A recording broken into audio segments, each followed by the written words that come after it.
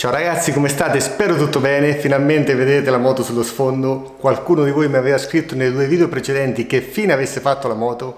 La moto è stata per 15 giorni dal mio meccanico di fiducia in quanto ho deciso di fare un super tagliandone, dato che dopo attente valutazioni, ma soprattutto dopo un confronto con mia moglie Sara, abbiamo deciso che per tutto il 2022-23, forse 24, dipende anche da lei, la Tenerona non si cambia, ma andiamo per gradi. Nell'ultimo video ci siamo lasciati con il costo totale del viaggio a Capo Nord. Qualcuno di voi nei commenti mi ha scritto che a quel costo sarebbe opportuno aggiungere il costo del tagliando della moto e di un eventuale treno di gomme. Giustissimo. Io ho voluto scendere le due cose in quanto, se parliamo di un viaggio di 8, 9, 10.000 km, il costo della preparazione della moto a grandi linee è sempre lo stesso indistintamente dal viaggio e mi spiego meglio. Se vado a confrontare il costo del viaggio a Capo Nord con il costo del viaggio in Russia, il viaggio a Capo Nord è costato circa il doppio. Ricordo come se fosse ieri, in Russia facevo il pieno alla moto con circa 8, 9, 10 euro. Parliamo del 2019 con un costo benzina di circa 60 centesimi. Ricordo anche che all'uscita della federazione russa volevo vuotare le valigie e riempirle di benzina, ma questo è un altro discorso. Comunque, dato che avete sollevato questo argomento, in 30 secondi vi vado a dire quanto mi è costata la preparazione della moto per il viaggio a Capo Nord. Dato che parliamo di tagliandi, mi sono messo seduto di fianco al cuore pulsante della moto, ovvero il motore. Comunque, questa moto, come le vostre moto, come le auto, come i camper, come i camion, ha un libretto di uso e manutenzione redatto dalla casa produttrice. Nel caso specifico parliamo di una Yamaha Super Tenere 1200, la Yamaha consiglia di cambiare l'olio motore ogni 10.000 km barra un anno, di cambiare il filtro olio motore ogni 20.000 km, quindi due cambi d'olio, un cambio del filtro, di cambiare l'olio del cardano, questa moto ha la trasmissione cardanica, non la catena, ogni 20.000 km, di cambiare le candele ogni 20.000 km, di controllare il gioco delle valvole ogni 40.000 km. A tutto questo ogni anno vanno fatti dei controlli generali, controllo dei raggi, controllo serraggio bullonerie, controllo cuscinetti dello sterzo, controllo usura dei dischi, controllo usura delle pastiglie, eccetera eccetera. Ma per entrare nello specifico vi mostro cosa ho fatto alla moto prima di partire per il viaggio a Capo Nord. Questi sono nel dettaglio tutti i prodotti che ho utilizzato per preparare la moto per il viaggio a Capo Nord. Partendo dal primo, qua troviamo olio motore Motul 7100 1050, filtro olio motore iFlow numero 204 per la Super Tenere, olio per il cardano Motul 8090 per trasmissioni, candele NGK consigliate dalla Yamaha. Qua bisognerebbe fare un discorso a parte, queste sono le bobine, non fanno parte della manutenzione ordinaria, quindi sono la prima volta che le cambiamo, però per la massima trasparenza vi ho voluto far vedere tutto quello che ho fatto prima di partire per il viaggio, ma ripeto, bisognerebbe farci un video dedicato. Questo è il kit per la pulizia del filtro dell'aria, io non ho il filtro dell'aria originale ma ho un filtro della KN quindi può essere riutilizzato qua dentro ci sono due prodotti uno per detergere il filtro l'altro per ingrassarlo. Anche qua se vi interessa ci possiamo fare un video dedicato. Questo invece è il prodotto per la pulizia dei corpi farfallati. Ogni volta che cambio le candele ne approfitto per pulire anche i corpi farfallati.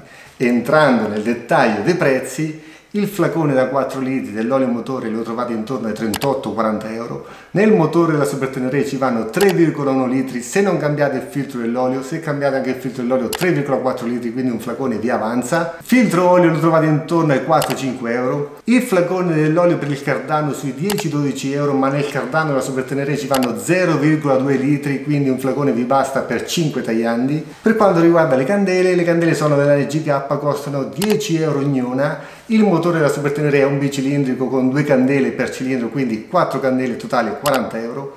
Per le bobine, ripeto, bisogna fare un discorso a parte. Kit pulizia filtro aria intorno ai 20 euro ma vi basta per 2-3 volte. Kit pulizia corpi farfallati circa 10 euro ma vi basta una vita. Detto questo ragazzi, il costo del tagliando per un viaggio di circa 8, 9, 10 mila km varia in relazione quindi al periodo storico della vostra moto e al chilometraggio della vostra moto. Se la vostra moto è a puntino potete solo cambiare l'olio perché come già detto nel libretto uso e manutenzione l'olio va cambiato ogni 10.000 km quindi se dovete affrontare un viaggio di 10.000 km la cosa assolutamente da fare è cambiare l'olio una settimana prima di partire. Io vi dico il mio punto di vista, dato che il tagliando me lo faccio solo, dato l'importo di questi due prodotti, ogni volta che cambio l'olio motore cambio anche il filtro dell'olio, nonostante nel libretto uso e manutenzione della Yamaha dicono che il filtro dell'olio può essere cambiato ogni due cambi d'olio, ma ripeto, con il fatto che l'importo del filtro è di 4-5 euro preferisco vuotare tutta la coppa dell'olio con l'olio presente dentro al filtro e rimetterlo nuovo. Idem per il cardano, considerate che nel cardano vanno 0,2 litri d'olio, parliamo di un importo di circa 2 euro. Detto questo ragazzi potete fare i vostri conti e vi rendete conto di quanto costerà preparare la moto per il vostro viaggio. Comunque per completare tutto, a tutto questo dobbiamo anche parlare delle gomme e qua bisognerebbe fare un discorso a parte.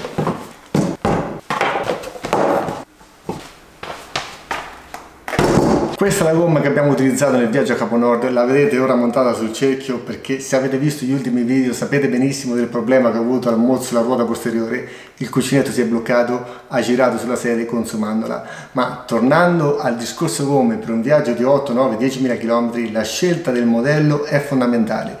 Io ci ho fatto un video dedicato per quanto riguarda questo tipo di modello, parliamo delle TKC70 della Continental.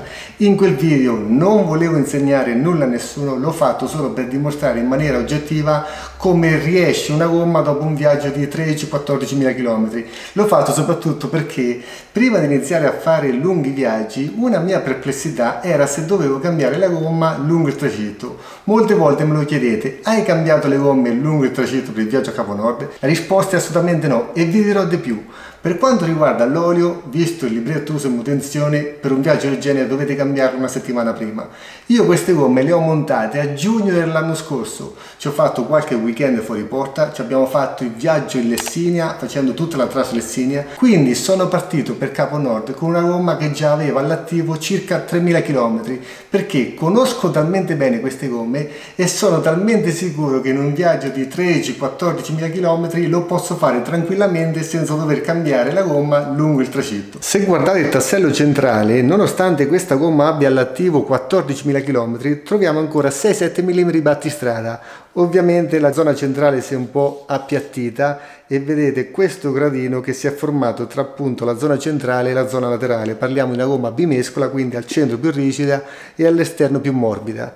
Questa gomma ovviamente ragazzi non è sicura come una gomma nuova, quindi con l'occasione di dover cambiare il cerchio ho deciso di cambiare anche la gomma.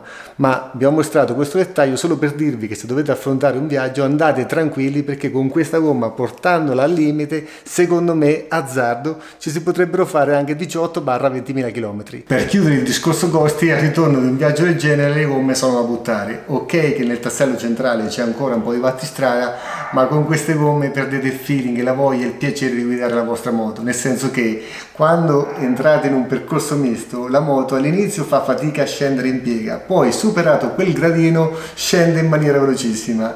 Io dico sempre, ogni volta che cambio le gomme sembra di guidare un'altra moto, quasi ho paura di guidarla perché sembra di cadere, comunque questo è un discorso a parte. L'unico consiglio che sento di darvi, se conoscete bene il vostro pneumatico, potete sfruttarlo in maniera piena, montarlo un po' prima di partire di un viaggio del genere come ho fatto io, quindi non farci 11.000 km ma farci 14-15.000 perché appunto al ritorno di un viaggio queste gomme per ritrovare il piacere di guida secondo me sono da buttare. Parlando di costi, queste gomme le trovate intorno a 260-270 euro montate, ma questo dipende dal vostro gommista. Ora finalmente mettiamo da parte il discorso costi entriamo nella parte più interessante del video perché vi voglio mostrare nel dettaglio alcuni aspetti, alcuni componenti meccanici della Super Tenere dopo aver percorso 100.000 km.